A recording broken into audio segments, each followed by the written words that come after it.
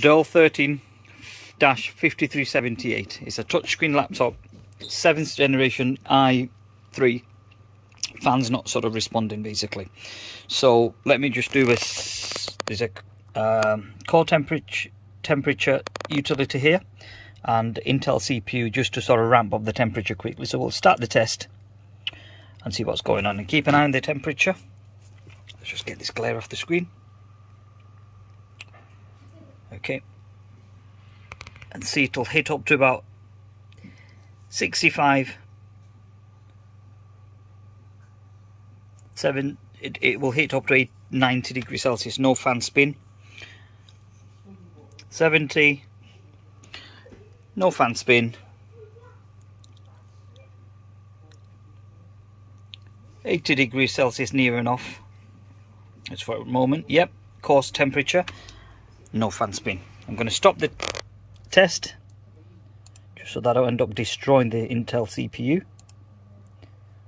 and I'll tell you why it's doing what it's doing. Right okay so the temperature will drop but still no fan spin.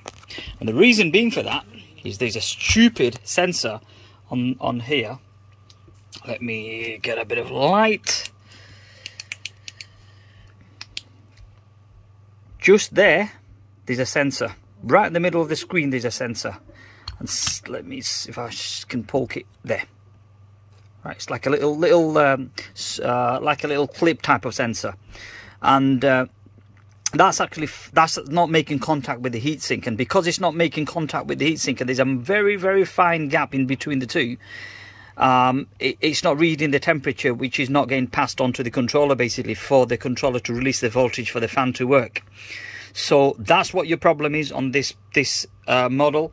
If the fan's not uh, turning on or the system's sort of running for a bit and then just freezing or there's artifacts on the screen um, usually it's a sign of a, a chipset a, a, a graphic section of the CPU failure. But this has suffered artifacts and everything but the laptop is still working.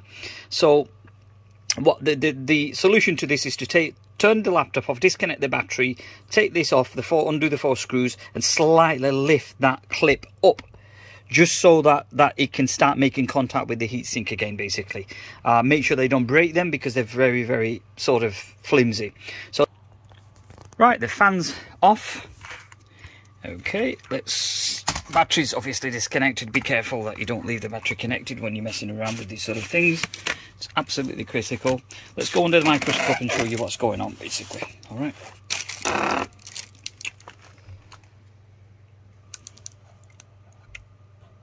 Let's see if I can get an angle, which may may not be able to. There you go. That's the clip.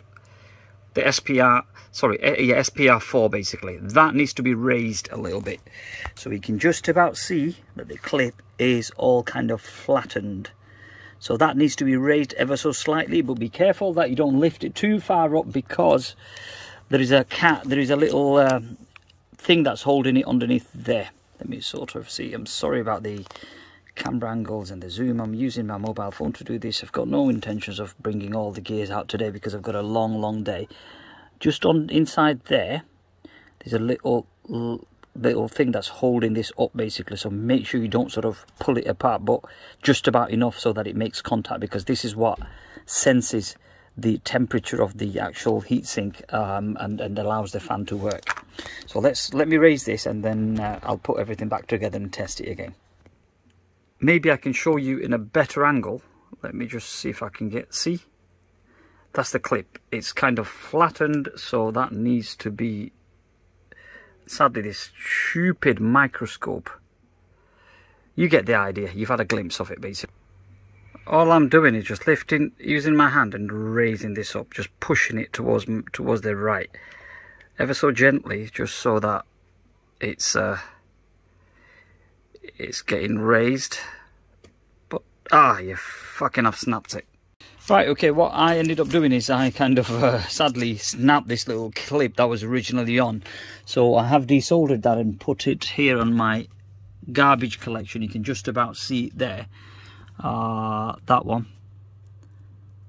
That, that's the little clip that's broken off. So luckily I have donor boards that I can rub these sensor pads basically there it is pad uh, 15 where I've robbed one from and there is another one that I can always utilize from this spare board pad 16 these are copper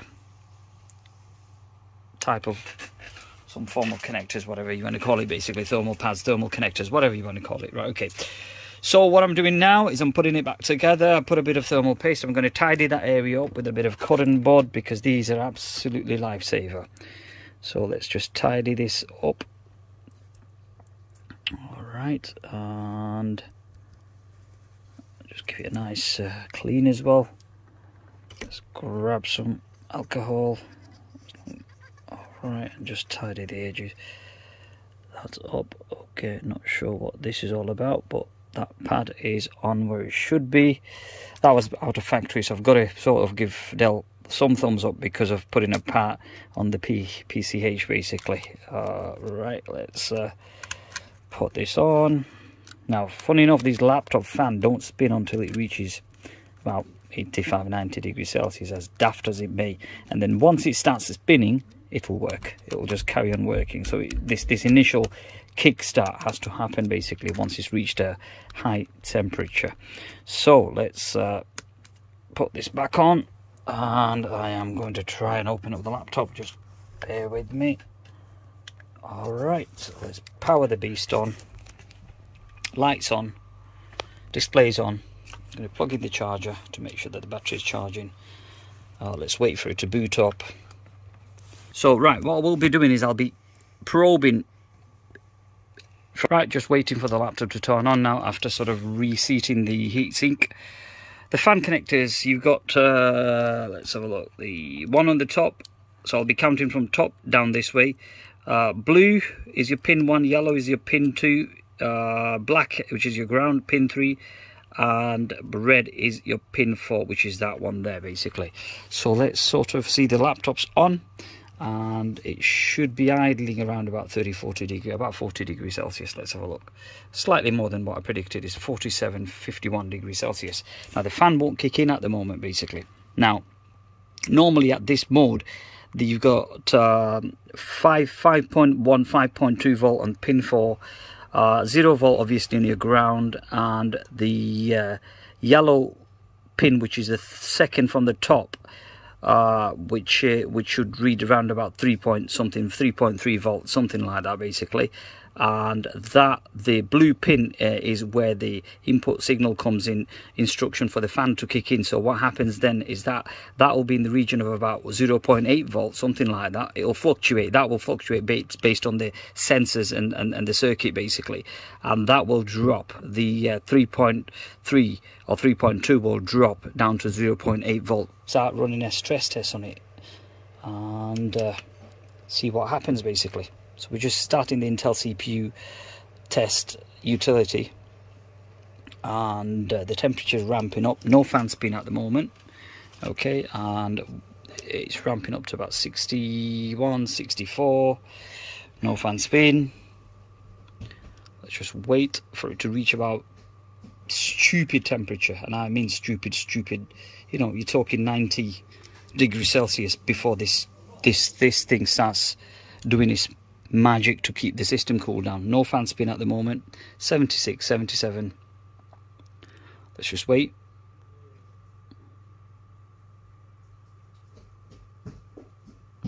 There's absolutely no fan spin. The laptop used to switch off basically.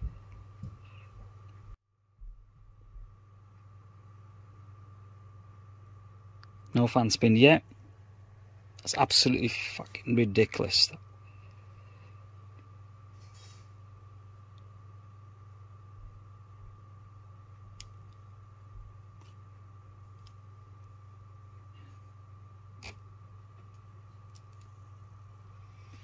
We have fan spin.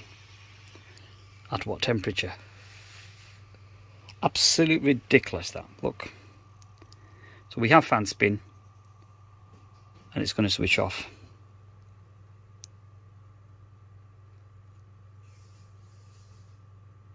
Around about 85 degrees Celsius. That's just absolute ludicrously nonsense, that is basically. That's one of the reasons why these CPUs are dying, you know, uh, because the thermal design, they, they, it should be idling around about, on a stress like this, it should be idling around about 65, 70 degrees Celsius maximum, and the fan should be running. Okay, now let's see what's going on. So we're on 77, 70, say 77, 80 degrees Celsius, and the fan still remains on now. So it switched on, it's went off, and now it's running all the time, basically. This sequence, this start sequence has to happen for the fan to sort of um, carry on doing what it should be doing. So I, I just think it's just an absolute design flaw, basically, by these manufacturers. Now look, the fan is still on, and it's on 73, 70 odd degrees Celsius, basically. And that's how it should be. That's how it should be. That's the sort of temperature that you'd be looking at, basically. But as I said, the start sequence for the fan is, is absolutely ludicrously nonsense, basically. So, yeah, there you have it. You know, the, the, the voltage, as I said, the voltage, uh, I have taken the measurements of the voltage. Those are the following voltage when the fan is off and when it's on basically. As i repeat when it's on the, the you will get a voltage of 0.8 volt or up and down you know it'll fluctuate depending on on the sensor sensor basically the circuit that's sending out what what speed the fan should run at basically. So the, on an average that's 0.8 that will drop to about 1.8 or so the second the yellow uh, pin. Um, and obviously your ground is 0 volt and that will remain 5.2 volt or 5.1 volt continuously basically even the, the, the pin 4 red that that will be 5.2 volt uh, regardless whether if the fan is on or not the voltage will always be present. So that's something for you to remember as well. Um, but yeah look we're on 68 degrees celsius and the fan is still running and that's how it should be. Yep.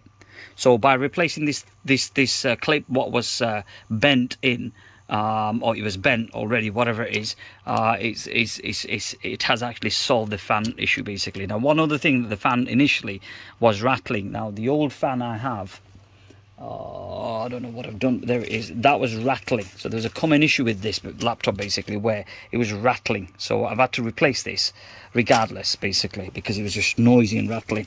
Um, so yeah, there you have it. That's what you need to look out for. Check those before you jump your guns on anything else. Be careful when you're handling this heatsink because by pressing on these areas and pushing on these areas, you can actually bend that plate back in. And sadly, that plate isn't bouncy. It doesn't bounce back. It's not like a spring. Whereas the clip, what I put, what, what I what I put in the plate, what I've replaced it with from the HP laptop, that bounces back up basically like a spring.